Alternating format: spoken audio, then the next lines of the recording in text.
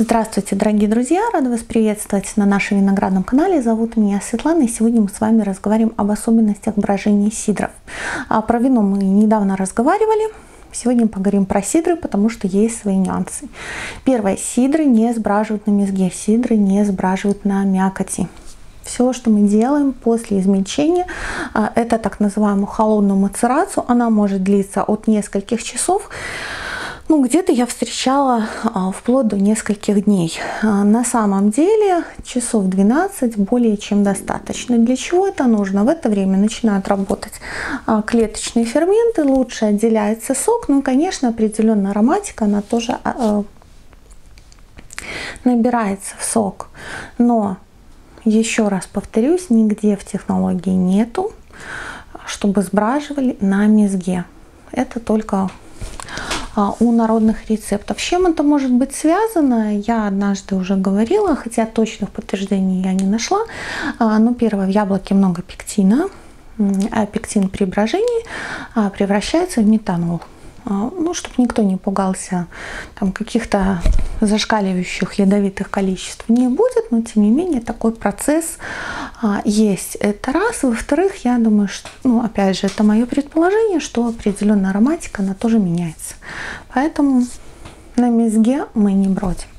Дальше. А, сбраживание яблочного сока на сидр происходит при низких температурах, примерно градусов 15, можно даже ниже. И при таких температурах, на самом деле, все замечательнейше бродит, очень активно. И сейчас мы, кстати, пойдем с вами это посмотрим. Итак, вот наш подвал. Температура а, где-то 11-12 градусов. И вот наши сидрики. Смотрите, при а, такой температуре они достаточно неплохо булькают. Вот специально держу на одном. О, пошла булька в затворе, чтобы было видно. Причем а, поставлено это было на брожение. А вот эта бутылка 21 сентября. А сегодня у нас 11 октября. А, вот та тоже достаточно активно булькает. Она была поставлена 18 сентября. И тоже так неплохо на самом деле булькает.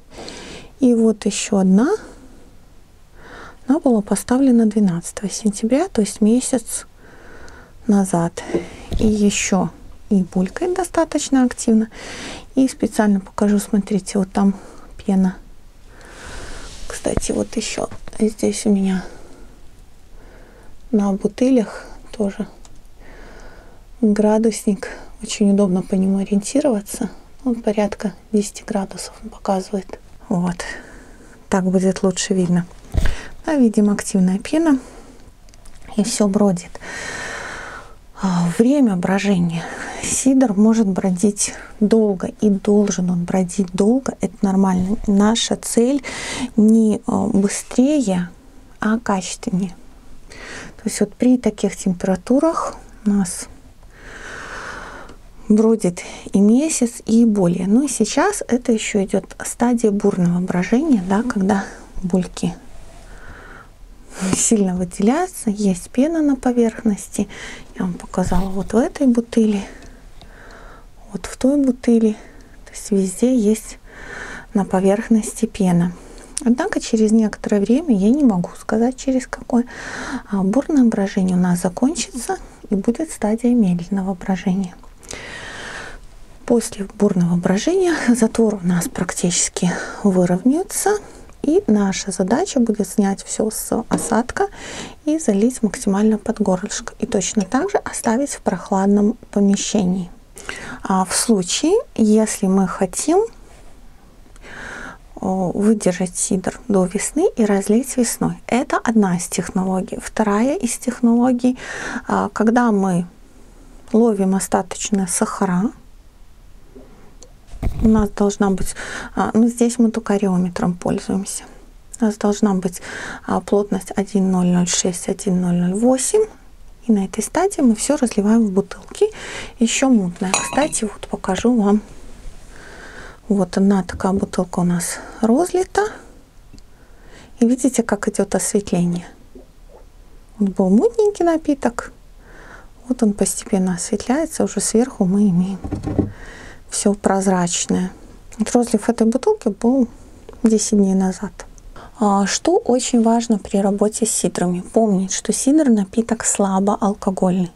А, соответственно, а, вариантов порчи его ну, может быть. Это раз. Второе. Любой напиток защищает кислота. Если мы использовали кисленькие яблочки, если мы делали все правильно и не добавляли воды, значит у нас должно быть все более-менее нормально. Но если мы воды добавили, и если мы использовали яблоки с низкой э, кислотой, ну, в идеале, конечно, работать с pH-метром. Но в этом сезоне мой pH-метр сломался, поэтому я работаю без него на глаз. Э, и просто вам рассказываю, с какими опасностями мы можем столкнуться. Значит, пока вот идет такое активное брожение, у нас все нормально. У нас есть там а, прослойка углекислого газа, дрожжи активно работают и никому больше жить не дают. Но когда брожение заканчивается, углекислый газ перестает выделяться. Напомню, спирта мало. А, если еще низкая кислотность, то там может размножаться кто-то другой. Например, а, вот такие вот пленчатые дрожжи. Несмотря даже на то, что а, вот оно стоит в прохладе, ну вот я специально сняла с осадка, да, потом еще отставила этот осадок.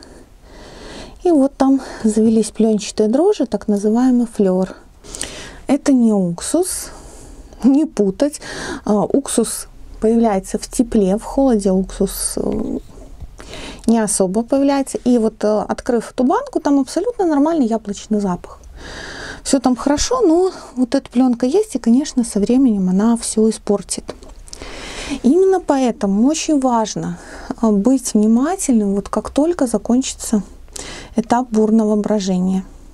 А его остановке будут свидетельствовать ну, практически э, выровненные затворы и отсутствие пены на поверхности сусла.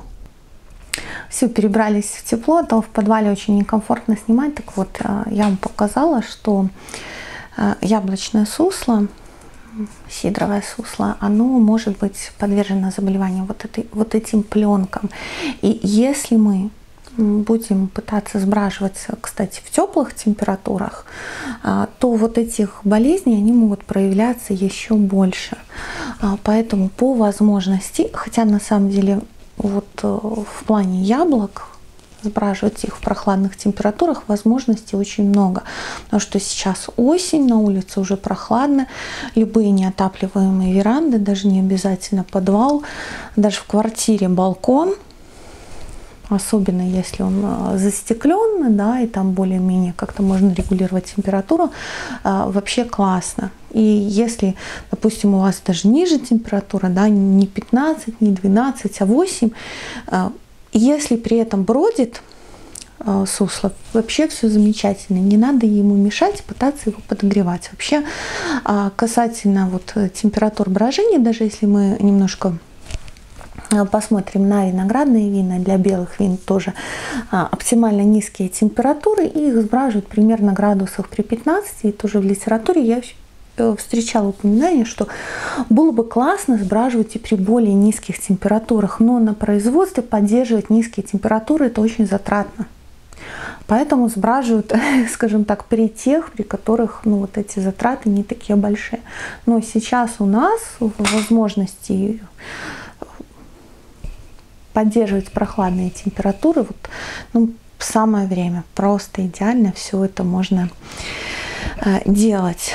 Потому что, во-первых, ну, это ароматика правильная, кто бы что ни говорил, ну, если э, это пишут в научных статьях, то, наверное, не просто так, не надо думать, что все вокруг дураки. А первое, второе, что болезнь развивается меньше. Хотя вам показала, что а, пленка, флюор, она может развиваться и при холодных температурах. Но я думаю, что если поставить в тепло, то она бы уже вообще все спортила. А пока она еще ничего не спортила, ну, эта баночка так вот стояла, собственно говоря, ждала время съемки а, просто вам показать. И смотрите, если после бурного брожения у вас не будет возможности вот, ну, проконтролировать как-то, ну мало ли, да, вдруг эта пленка пойдет, вдруг что-то э, случится, вот чтобы не испортилось, тогда э, лучше разливать в бутылки и газировать сидр раньше, э, нежели ждать до весны. Да, хорошо было бы подождать до весны и все сделать, ну там вообще по классике, по классике и посмотреть результат. Но э, нам все-таки очень важно, чтобы наши труды, они не испортились. Хотя тоже, если появилась такая пленка, э, я открывала баночку, да, и говорила вам, что уксусного запаха нет, каких-то плохих запахов нет. А, а, все обычно, только пленка вот это мешает. Значит, мы ее аккуратненько снимаем, и такое сусло надо пастеризовать. А, в закрытых емкостях. Температура где-то градусов 70, минут 15 надо нагреть чтобы это все убить. Пока у нас не пошло э, искажение вкуса, искажение запаха, ну, все это можно исправить. Ну, конечно, желательно не допускать. Хотя, как бы мы ни старались, как бы мы ни соблюдали все гигиенические нормы, ну, где-то это может быть полностью стерильность а, обеспечить а, к сожалению, невозможно. Все равно а, куча микроорганизмов живут вокруг а, нас. А, конечно, правильно было бы ну, использовать, как я говорила, в том числе и кислые яблоки, измерять pH. Я вам сейчас даже честно ну, не скажу точные цифры, в каких нужно работать, потому что ну, это на, надо поднимать записи, смотреть, пашметра у меня нету, поэтому да, работаем на глаз. А, но тоже я уже это говорила, когда мы снимали там в подвале, не надо разводить сусло водой, потому что вот разведение сусел водой – это прямой путь к болезням. Мы уменьшаем концентрацию вот этих защитных веществ и, соответственно, а, облегчаем жизнь вот этим не очень хорошим микроорганизмам. А еще раз коснемся сроков брожения. Я показывала вам примеры. На самом деле а, в литературе встречается, ну понятно, что там при использовании специальных раздражей, при создании оптимальных условий, а, бурное брожение длится порядка 30 дней. А, в реальных условиях оно длится больше. В принципе, я вам показывала тоже как пример сусла, который уже 30 дней бродит, и еще бродит вполне весело, и, наверное, будет бродить а, еще еще. То есть вообще длительность брожения вот э, часто спрашивают, так назовите конкретные цифры, что вы все а, абстрактно. Все виноделие, сидроделие, да, это уравнение со множеством неизвестных и факторов, влияющих на те процессы, которые протекают, множество. Содержание питательных веществ, азотистых веществ, а содержание сахара, содержание кислот, содержание там еще других всяких микроэлементов, а, температура, это все будет влиять. Дрожжи, которые там работают, все, все это будет влиять. А, но готовьтесь примерно к тому, что месяца полтора бурное брожение будет точно идти. А, хотя разливать бутылки на той плотности, о которой я вам говорила, а, вот в моих условиях я так примерно посмотрела, что где-то недели три оно бродит, и уже можно вот ну, примерно будет вот эта плотность. А если держим дальше, уже плотность уменьшается, уже там для хорошей газации будет требоваться добавление сахаров. Тем не менее, вот даже на маленьких сахарах яблочное сусло бродит еще а, достаточно интенсивно. Да, после спиртового брожения у яблочных сусел а, идет еще и яблочно-молочное яблоко содержит яблочную кислоту.